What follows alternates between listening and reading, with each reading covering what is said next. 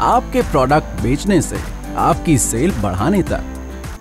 Big bless big bless हर कारोबारी की खुशियों की चाबी, खुशियों की अपनी दुकान।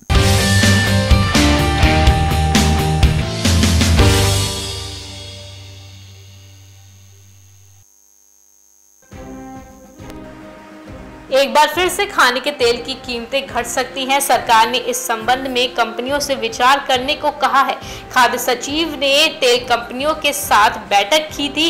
इसमें हर लीटर पर कम से कम दस रुपए कीमत घटाने की बात कही गई।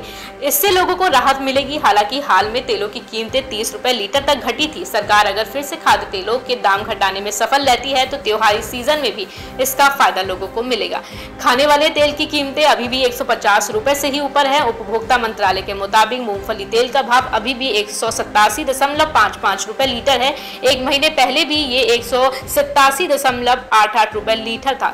सरसों का तेल एक सौ तिहत्तर दशमलव नौ लीटर है, जो एक महीने पहले एक सौ पंचानवे से ऊपर था। वहीं वनस्पति तेल का भाव एक सौ पचपन दशमलव दो है। एक महीने पहले ये एक सौ बासठ रुपए से ज़्यादा था। वहीं बता दें आपको कि सोया तेल की कीमत एक महीने में दस रुपए घटी है। ये एक सौ पैंसठ दशमलव पाँच रुपए से घटकर एक सौ संतावन दशमलव आठ चार रुपए लीटर पर आ गया है। सूरजमुखी तेल का भाव इसी दौरान एक सौ पिचासी से घटकर एक सौ इकहत्तर रुपए लीटर हो गया है। इस समय विदेशी बाजारों में तेल की कीमत कम है। ऐसे में भारत में भी घटाने की मांग हो रही है। Bureau report, market times TV.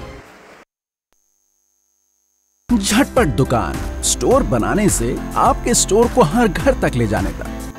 Big bless big bless, हर कारोबारी की खुशियों की चाबी, खुशियों की अपनी दुकान।